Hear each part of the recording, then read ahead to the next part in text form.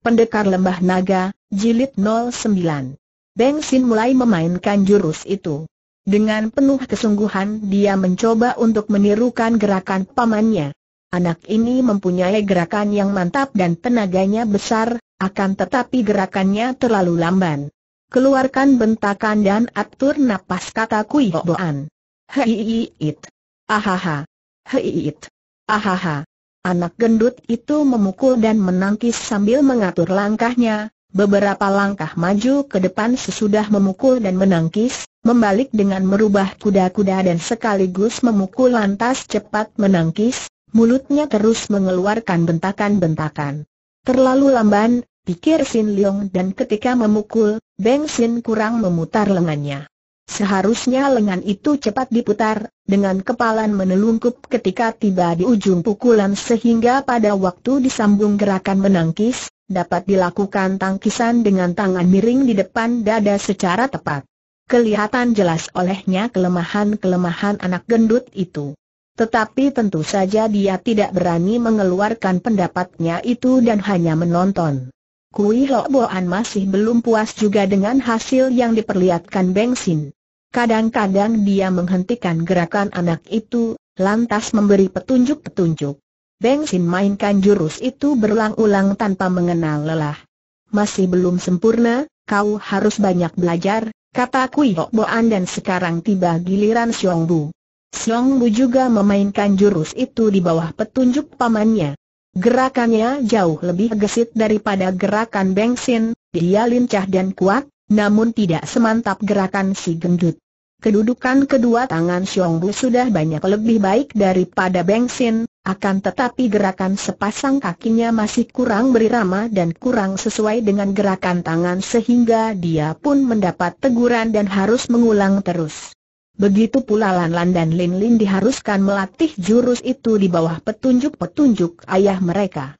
Agak jengkel hati Kui Hok Boan melihat betapa empat orang anaknya itu tidak mudah menguasai jurus Heng Pai Hut, maka ketika dia melihat Sin Leong sejak tadi berdiri saja menonton, kejengkelan hatinya membuat dia menegur ketus, Sin Leong, mau apa engkau berdiri di situ? Apakah tidak ada lagi pekerjaan yang lain? Sin Leong terkejut, lalu menunduk dan melangkah pergi untuk mengurus kuda yang harus diberi makan dan sapi yang harus dibawa keluar. Akan tetapi, jurus Heng Pai Hut itu tidak pernah terlupa olehnya dan ketika dia mengambil makanan kuda, tanpa disadari kedua kakinya melakukan gerak langkah jurus itu, dari ketika dia sudah menaruh makanan kuda di depan lima ekor kuda itu, tanpa disadarinya pula kedua tangannya melakukan gerakan memukul dan menangkis dalam jurus Heng Pai Haut.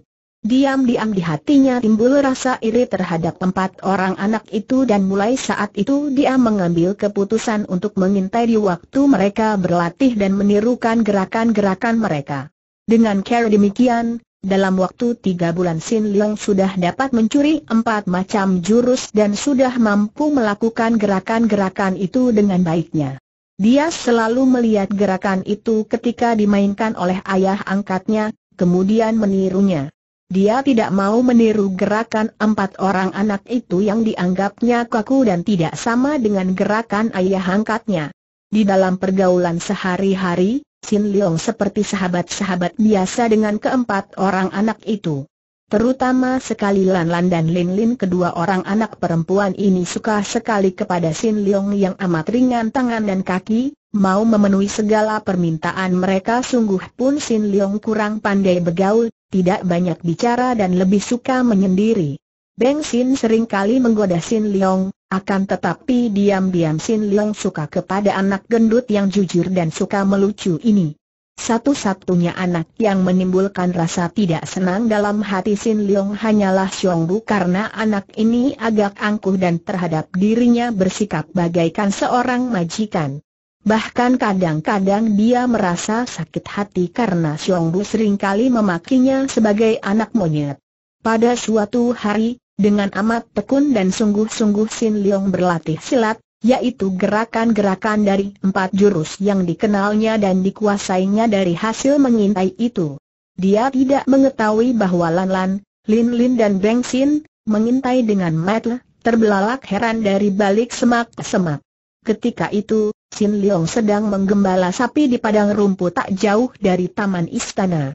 Tiga orang anak ini bermain-main dan akhirnya tiba di tempat itu, melihat dari jauh betapa Sin Leong bergerak-gerak seperti orang bersilat maka dengan penuh keheranan mereka menghampiri dan bersembunyi, mengintai. Pada waktu melihat Sin Leong bergerak dengan jurus Heng Pai Hut, Beng Sin tidak dapat menahan keheranannya dan dia meloncat keluar dari balik semak-semak sambil berseru, Hei, itu adalah jurus Heng Pai Hut. Sin Leong kaget bukan main, cepat menghentikan gerakannya dan menengok. Wajahnya berubah merah ketika dia melihat Beng Sin dan dua orang anak perempuan itu berlari-lari menghampirinya. Hei, Sin Leong, dari mana engkau dapat memainkan jurus-jurus itu? Beng Sin berkata dengan mata terbelalak, apakah Paman Dam diam mengajarmu? Sin Leong menggelengkan kepala. Ahaha, aku hanya main-main, T.E. Kong Chu. Aha, kalau di sini tidak ada Paman, jangan menyebut Kong Chu Kong Chuan segala. Namaku Beng Sin dan Kasin Leong. Bukankah kita sahabat? Terima kasih, Beng Sin. Akan tetapi lebih baik aku menyebutmu Kong Chu sesuai dengan perintah Gihu. Sin Leong, aku melihat engkau tadi memainkan Heng Pai Haut. Dari mana engkau dapat melakukan gerakan itu? Kuilin bertanya. Lin Xiaoqia, aku hanya menonton kalian berlatih dan meniru-niru saja. Ahaha, tapi gerakanmu tadi baik benar Kuilan juga memuji.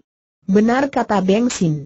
Sebaliknya aku belum juga dapat melakukan gerakan jurus itu dengan baik. Gerakanmu sudah baik, hanya perlu lebih dipercepat, Kongcu. Terlalu lamban sehingga gerakan kedua tanganmu kalah cepat oleh kedua kakimu. Juga di waktu kau memukulkan tanganmu ke depan, engkau kurang memutar lenganmu sehingga saat gerakan memukul itu disambung gerakan menangkis, kurang tepat. Beng Sin membelalakan matanya dan menjadi gembira. Ah, begitukah? Biar ku coba. Dan anak ini segera bergerak melakukan jurus Heng Pai Hut dan mengubah gerakannya sesuai dengan petunjuk Sin Leong. Dia merasa betapa setelah dia mempercepat gerakan kedua lengannya, dia dapat mengikuti gerakan kaki secara baik, dan ketika dia memukul, dia memutar lengannya dan mendapat kenyataan bahwa perubahan gerak dari memukul menjadi menangkis dapat dia lakukan dengan baik. Hore! Aku dapat melakukannya dengan baik dia bersorak girang sekali dan dua orang anak perempuan itu pun ikut gembira, tertawa-tawa melihat si gendut itu bersorak dan menari-nari dengan pinggul megal-megol. Hei, apa-apaan kalian di situ tiba-tiba terdengar teguran Xiong Mu yang datang berlari ke tempat itu. Ahaha, Buko, terjadi keajaiban di sini, Beng Sin berkata sambil tertawa dan menudingkan telunjuknya pada Sin Leong. Kau lihat, Sin Leong ternyata pandai mainkan Heng Pai Hut, dan dia telah memberi petunjuk sehingga sekarang gerakanku menjadi baik. Betul, Buko, dan Sin Leong dapat pula mainkan jurus-jurus lain dengan baiknya, padahal dia hanya melihat dan meniru-niru kita saja Lan Lan berkata. Alis yang sudah kelihatan panjang tebal di atas sepasang mata Siong Bu berkerut pada saat dia memandang kepada Sin Leong, akan tetapi dia memandang rendah anak angkat bibinya ini dan menganggap seorang bujang yang derajatnya lebih rendah daripada dia dan saudara-saudaranya. Sin Leong, bukankah paman sudah melarangmu untuk belajar silat bentaknya? Sin Leong menundukkan mukanya. Memang aku tidak belajar, hanya melihat dan ingat gerakannya. Dia benar, Buko. Dia hanya mengenal jurus yang pernah dilihatnya saja, akan tetapi gerakannya hebat. Dia bisa memainkan jurus Heng Pai Hut lebih baik daripada engkau, Bukoko Bengsin berkata lagi dengan jujur, tidak tahu betapa kata-katanya itu membuat hati Xiong Bu menjadi makin panas dan iri. Hem, golongan monyet mana bisa bermain silat dia mengejek. Ah, jangan begitu, Buko. Menurut penuturan paman, bukankah banyak ilmu silat diambil dari gerakan-gerakan binatang, misalnya harimau, bangau, monyet dan lain-lain bantah Brengsin. Ingat jurus-jurus seperti Hak Wan Hian Ke, lutung hitam memberi buah, atau Sin Kau Pai Bwe, kerasakti menggerakkan ekor, dan lain-lain. Hem, jurus-jurus itu ciptaan manusia. Mana ada anak monyet bisa bersilat kembali Xiong Bu mengejek. Bu Koko, mengapa kau menghina Sin Leong? Dia tidak mempunyai kesalahan apa-apa, tiba-tiba Lin Lin mencela Xiong Bu. Benar, kau sengaja hendak memakinya anak monyet. Kau terlalu, Buko, dan kau sudah mengganggu kami yang sedang bergembira di sini Lan Lan juga membela Sin Leong. Melihat dua orang anak perempuan itu membela Sin Leong, Semakin panaslah rasa hati Xiong Bu. Akan tetapi dia adalah seorang anak yang cerdik. Dia tidak mau mendesak lagi karena biarpun dia sudah dapat memperolok Sin Leong, dia tidak mau kalau untuk itu dia menimbulkan rasa tidak suka di hati Lan Lan dan Lin Lin aku sebenarnya tidak menghina, hanya tidak percaya. Akan tetapi kalau Sin Leong mau berlatih silat bersamaku, baru aku percaya, katanya sambil menghampiri Sin Leong. Beng Sin berseru girang. Bagus. Itu bagus sekali. Sin Leong, hayo layani buko berlatih. Dia baru akan percaya setelah melihat sendiri dan engkau pun akan mendapat kemajuan kalau mau berlatih dengan dia. Sin Leong tentu saja tak mengerti apa yang dimaksudkan. Dia memang ingin sekali belajar silat, akan tetapi dia tidak berani belajar dari ayah angkatnya yang sudah melarangnya. Kini dia meragu dan memandang kepada Lan Lan dan Lin Lin kedua orang anak perempuan itu pun mengangguk dengan gembira. Mereka suka sekali belajar silat, dan melihat gerakan Sin Leong tadi, mereka mengira bahwa tentu Sin Leong sudah pandai pula, maka tiada buruknya untuk berlatih bersama Xiong Bu. Sin Leong adalah seorang anak yang keras hati. Tadinya dia ingin meninggalkan mereka pergi, akan tetapi melihat Xiong Bu berlagak menantang, hatinya pun menjadi panas.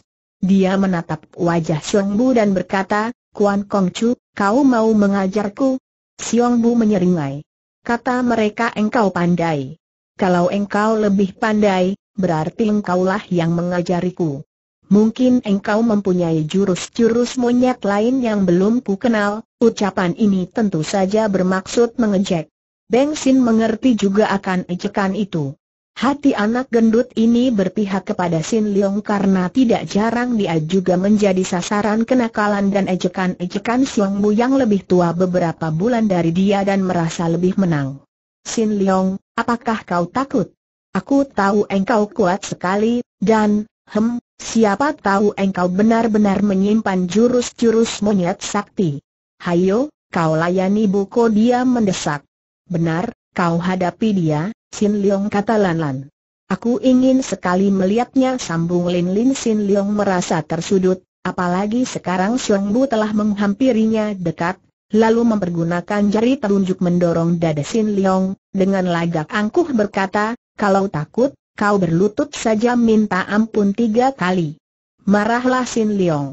Kuan Kong Chu, terhadap setan pun aku tidak takut, apalagi terhadap engkau. Hei hei hei, dia memakimu setan, buko kata Beng Sin tertawa keras.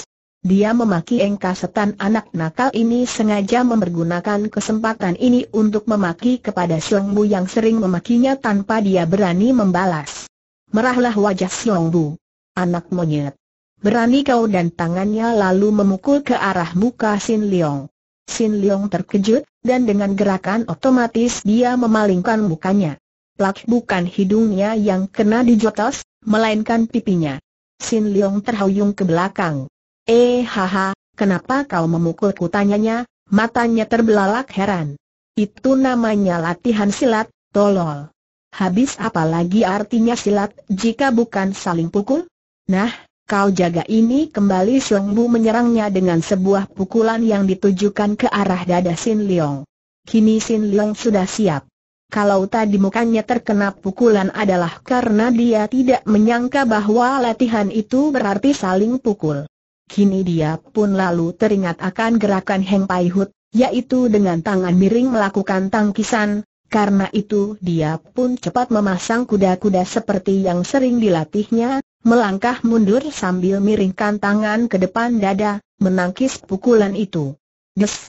Karena Kerusin Leong memasang kuda-kuda tidak tepat, walaupun gerakannya benar namun dia tidak tahu untuk apa kuda-kuda itu, maka penanaman tenaga di kakinya tidak benar dan dia terhuyung oleh pertemuan lengannya dengan lengan lawan, dan sebelum dia tahu harus berbuat apa, tiba-tiba kaki lawan sudah membabatnya dari samping, tepat mengenai belakang lututnya.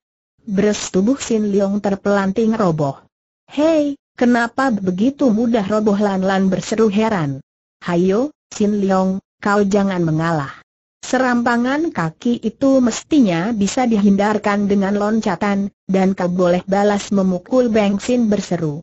Sin Leong bangkit berdiri dan pada saat itu pula Xiong Bu sudah menerjang lagi dengan pukulan bertubi-tubi. Sin Leong masih mencoba untuk bergerak dengan jurus-jurus yang pernah dilihat dan dilatihnya, akan tetapi tentu saja gerakan-gerakan itu biarpun sangat baik akan tetapi tidak tepat, dipergunakan bukan pada saatnya, oleh karena itu mulailah dia menjadi bulan-bulanan pukulan tangan serta tendangan kaki Xiong Bu. Sudah empat kali mukanya menerima pukulan keras sehingga kedua pipinya menjadi biru dan mata kanannya membengkak. Bu Koko, jangan memukul sungguh-sungguh Lin Lin berseru marah.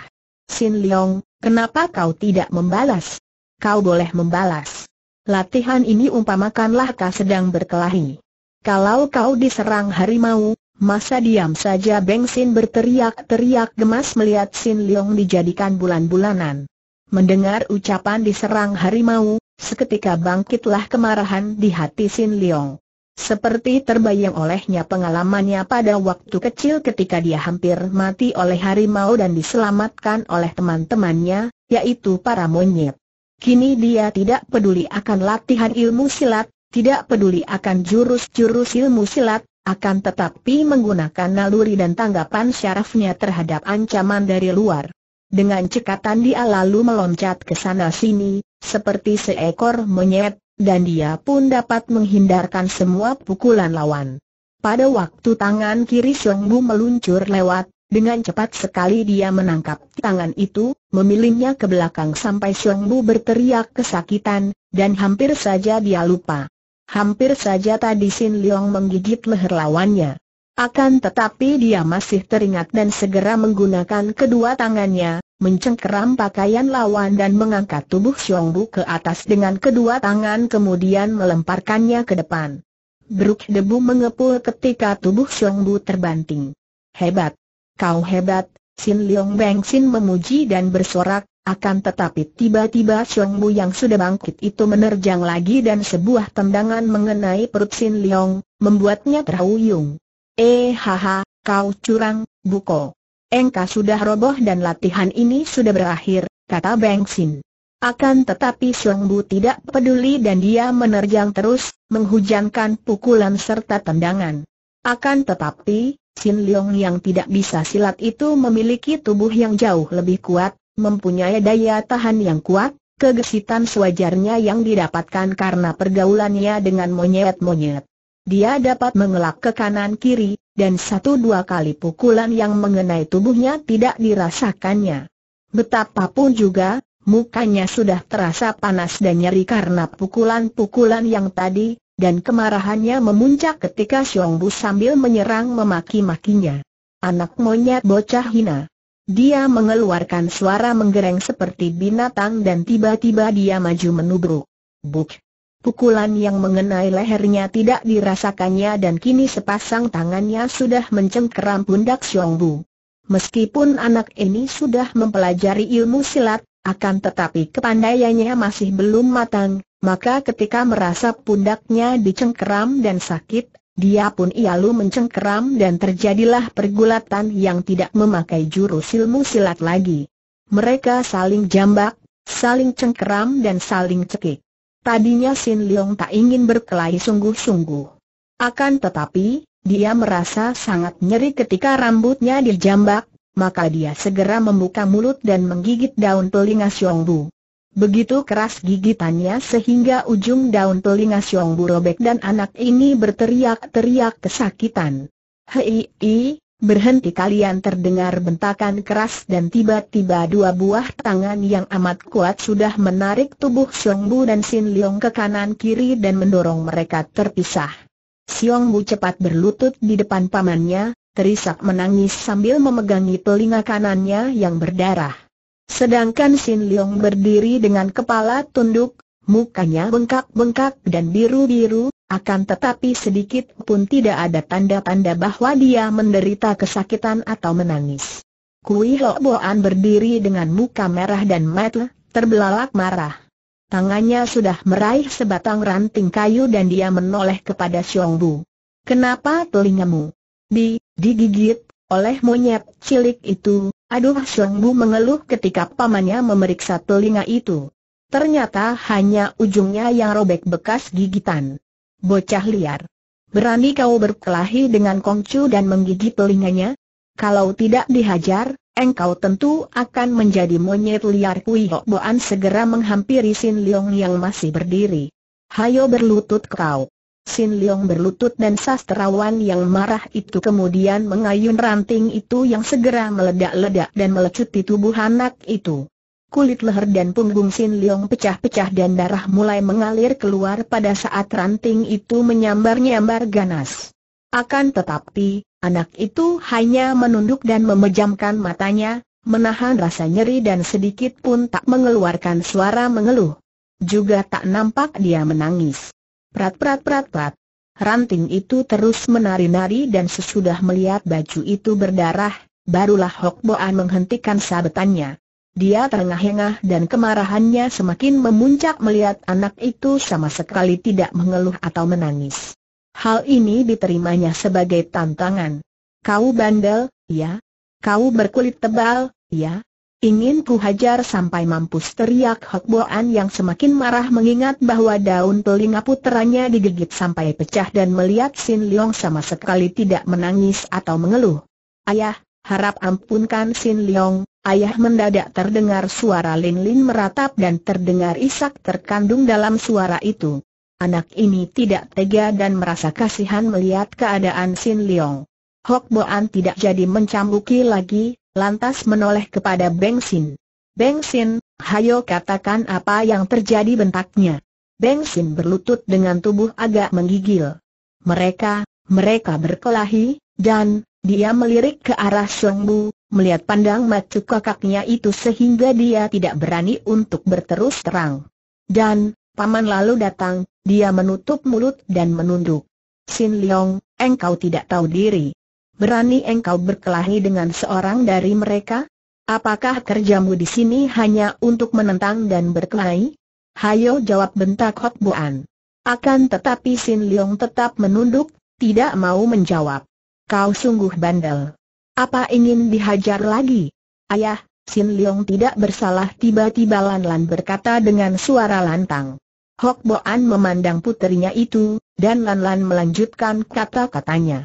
Mula-mula kami bertiga di sini melihat Sin Leong berlatih silat seorang diri, dia pandai mainkan jurus Heng Pai Haut. Eh tanda seru Hok Boan terkejut bukan main. Dia menonton ketika kami berlatih, ayah, Lalu dia meniru-niru gerakan kami. Akan tetapi gerakannya baik sekali dan selagi kami bergembira, datang Bu Koko yang menantang Sin Leong. Dan Bu Koko memaki Sin Leong monyet, sambung Lin Lin Bu Koko menantang untuk berlatih silat, mereka berkelahi sungguh-sungguh, sambung pula Lan Lan. Akan tetapi Sin Leong terus didesak, maka dia melawan, apabila Bu Koko tidak mendesak dan memaksa, tentu dia tidak akan balas memukul dan menggigit. Kui Lo Boan mengerutkan alisnya. Soal perkelahian antara anak kecil tidak begitu aneh baginya, akan tetapi mendengar Sin Leong pandai memainkan jurus Heng Pai Hut, hal ini benar-benar mengejutkan hatinya.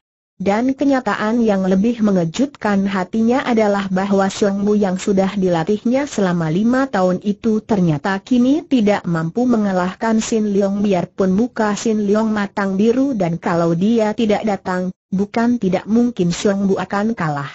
Sin Leong, benarkah Hengka sudah menonton jurus-jurus itu dan menirunya bentaknya kepada Sin Leong?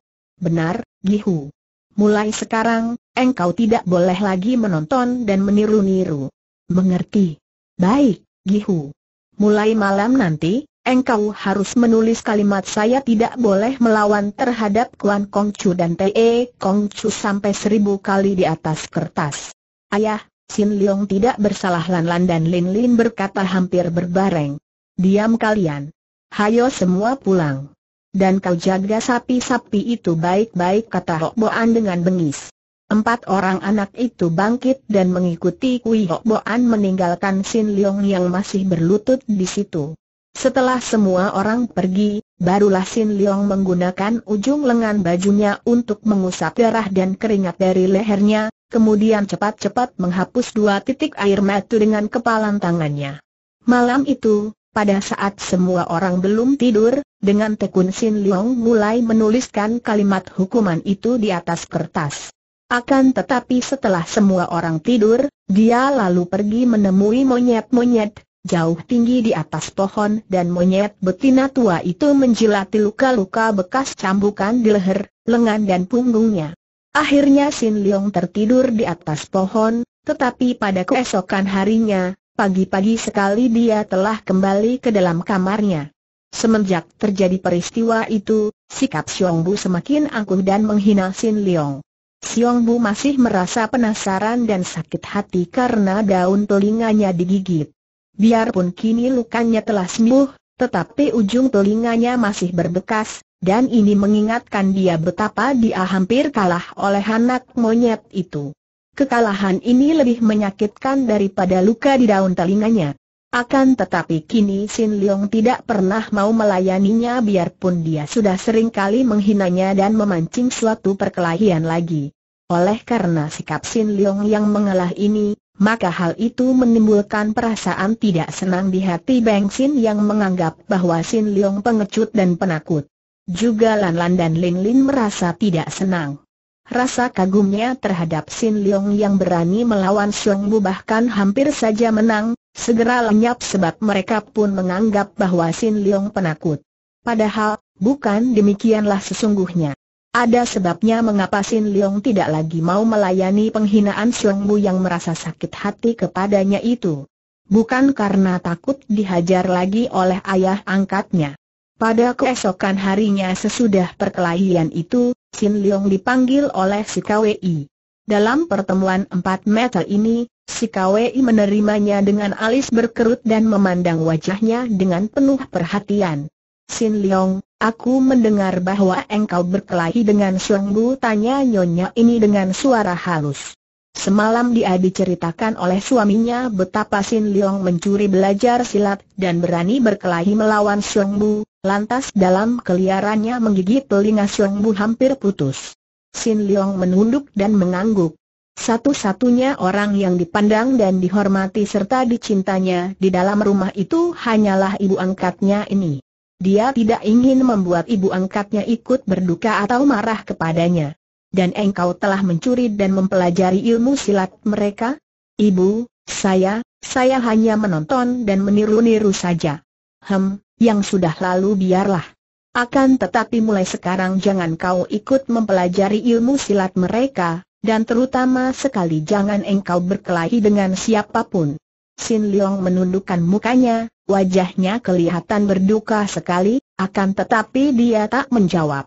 Melihat wajah itu, teringatlah si KWI kepada Chia Bun Hou maka dia menarik napas panjang.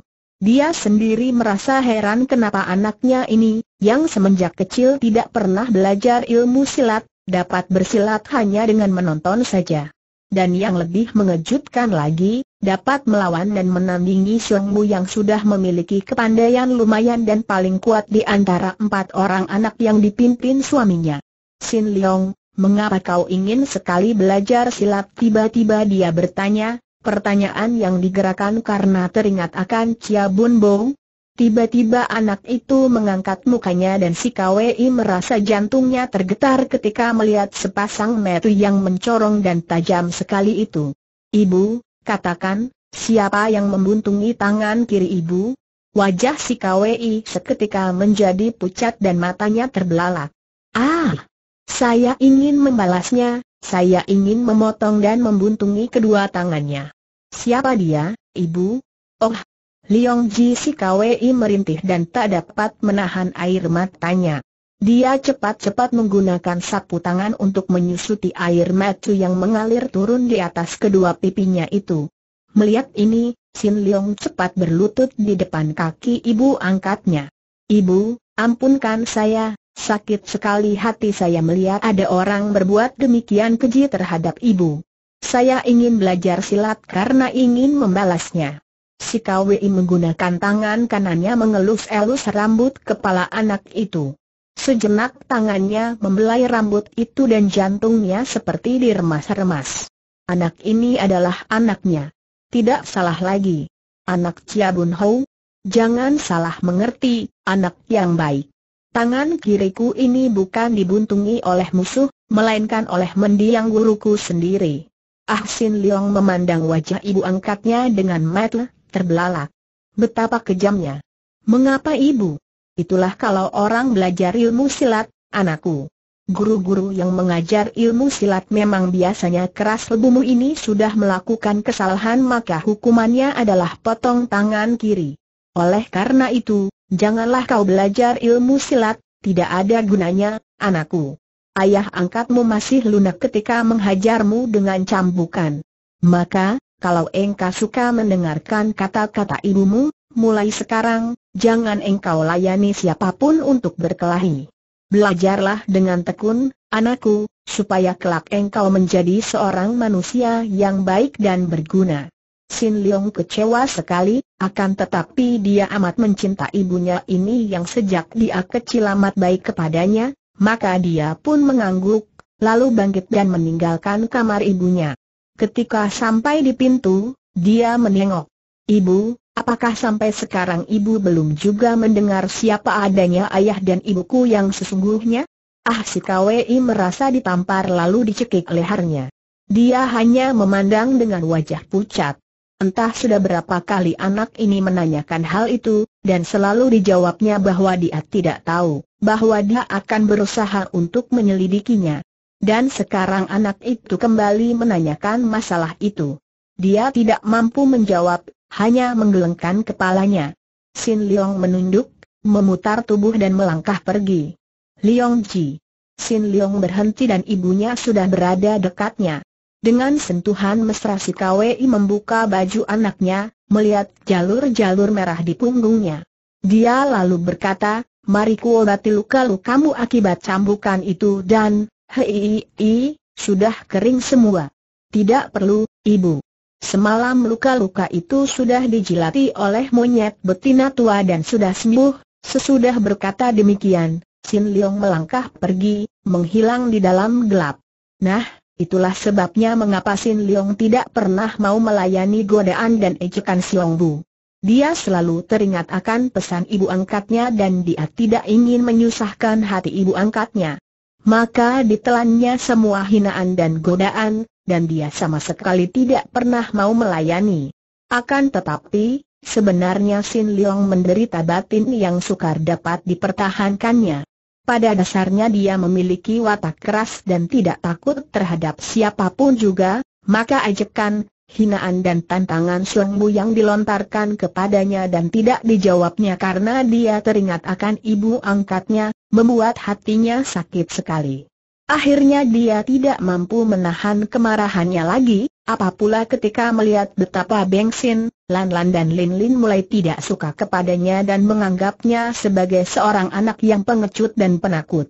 Dia tahu bahwa tiga orang ini tadinya berpihak kepadanya dan tidak suka melihat dia dihina dan ditantang, mereka menghendaki supaya dia melawan. Akan tetapi, bukannya dia takut terhadap Xiong Bu, bukan pula takut akan hukuman dari ayah angkatnya, melainkan dia tak ingin menyusahkan hati ibu angkatnya, tidak ingin melanggar pesan ibu angkatnya. Akan tetapi kekerasan hatinya membuat dia makin tidak kuat bertahan, apalagi sesudah dia merasa kesepian karena anak-anak yang lain mulai menjauhkan diri darinya.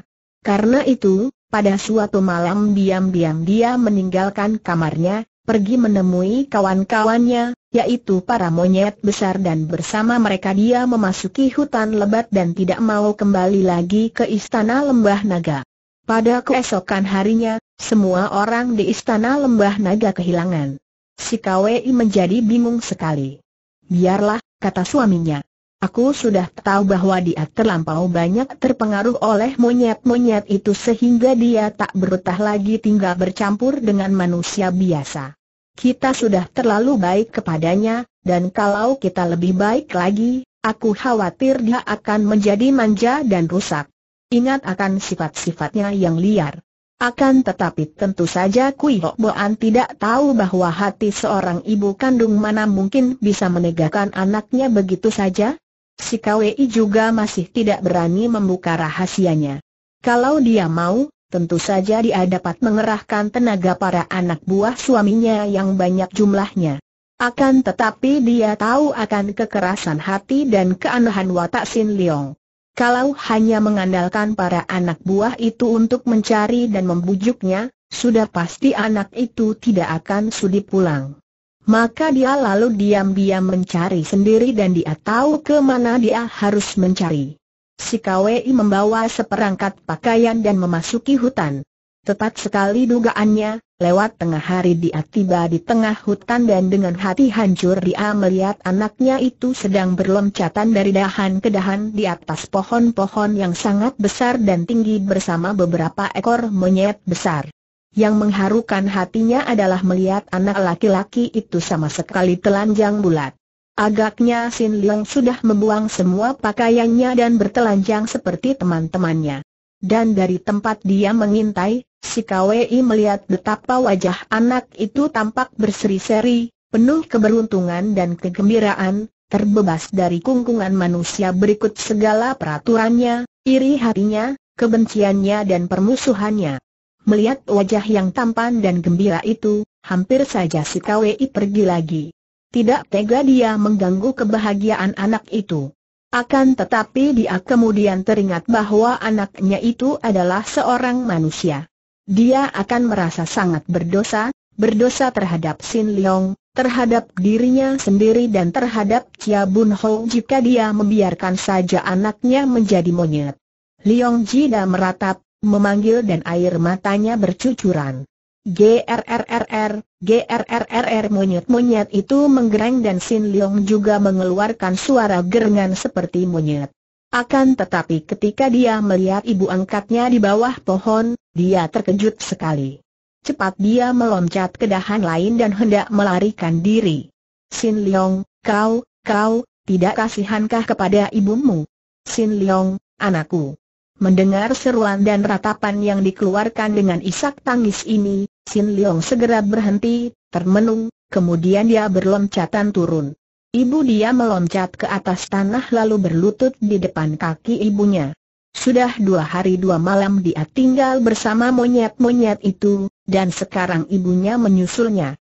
Kalau saja ibunya tidak menangis dan keadaannya demikian menyedihkan, tentu dia tadi sudah melarikan diri. Liong Ji, mengapa kau meninggalkan ibumu? Apakah kau tidak suka lagi kepada ibumu, anakku? Ibu, Sin Leong merasa lehernya seperti dicekik. Dua hari dua malam tidak bicara, hanya mengeluarkan suara seperti monyet-monyet itu, membuat lidahnya kaku dan sukar baginya untuk bicara. Akan tetapi akhirnya dapat juga dia berkata, Aku tidak meninggalkan ibu, tapi aku meninggalkan mereka itu suaranya mengandung kemarahan.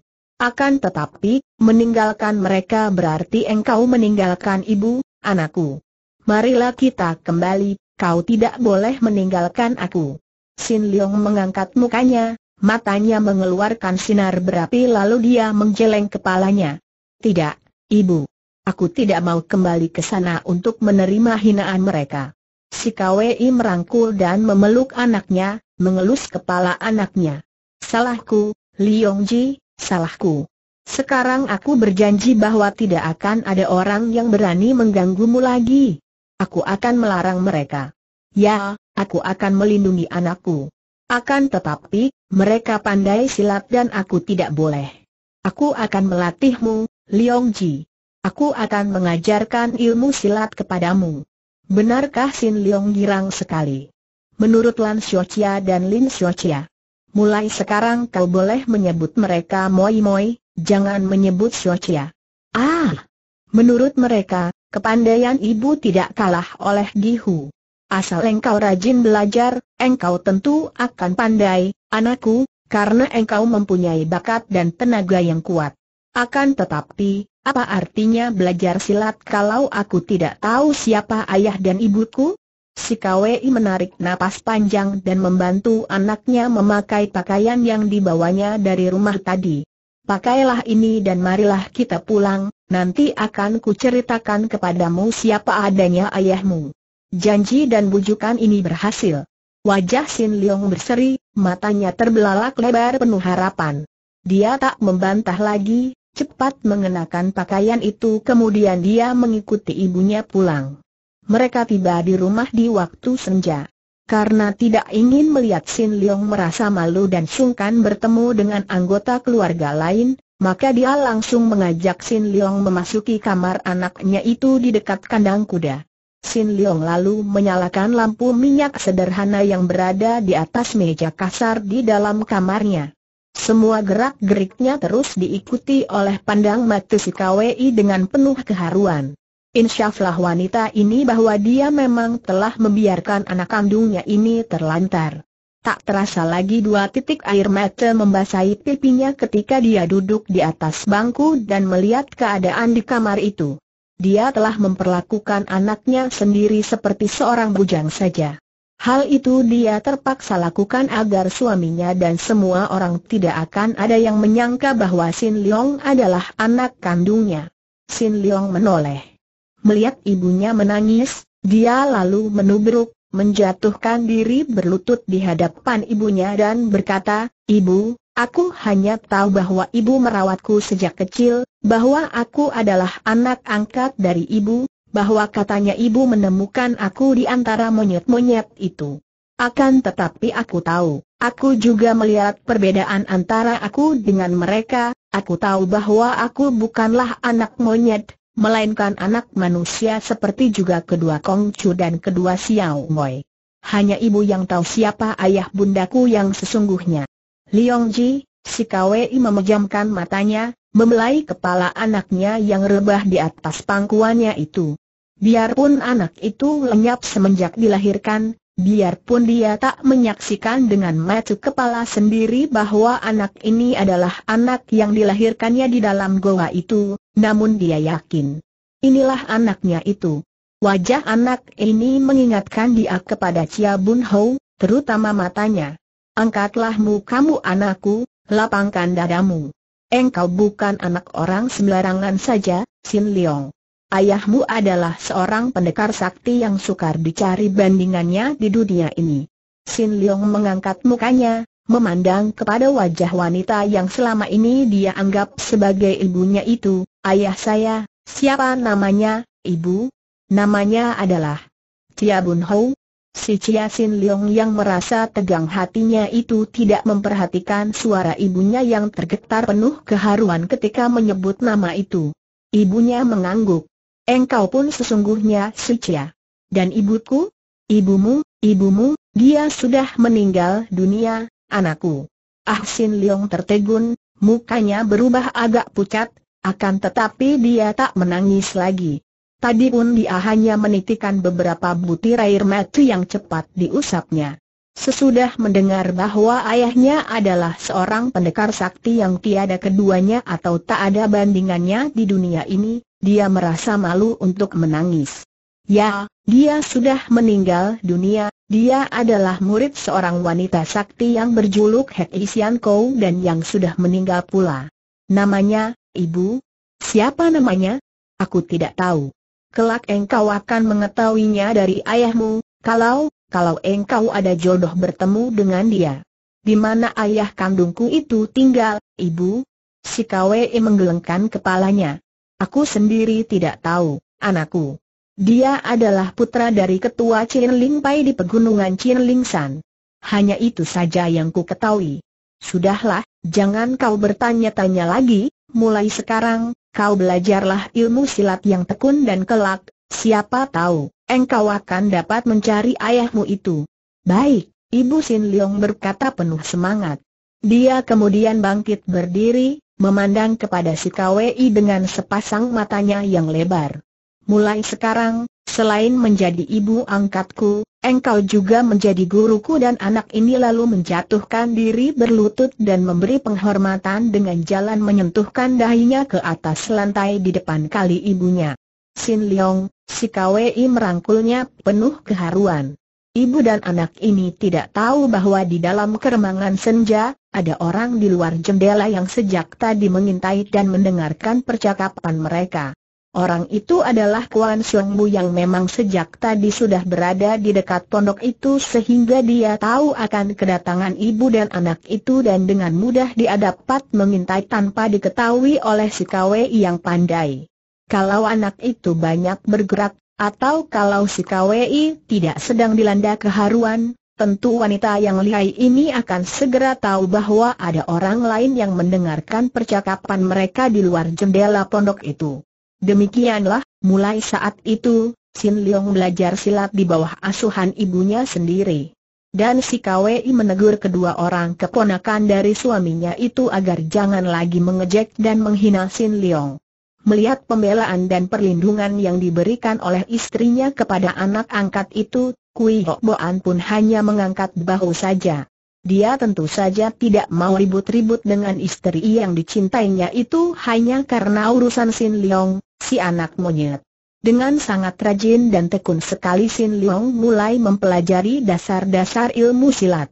Ternyata memang dia amat berbakat sehingga pelajaran ilmu silat itu dapat dikuasainya dengan lancar sekali. Hal ini membuat si KWI merasa girang. Akan tetapi, selain mempelajari ilmu silat dari ibunya, Sin Leong masih tetap melakukan pekerjaannya sehari-hari, tak pernah dia kelihatan malas.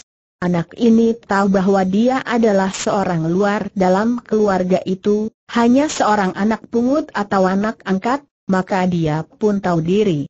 Karena sikapnya ini, biarpun di dalam hatinya Kui Boan merasa tidak senang dengan anak ini, akan tetapi dia tidak menemukan alasan untuk memperlihatkan ketidaksenangannya itu dan Sin Leong dapat bekerja seperti biasa.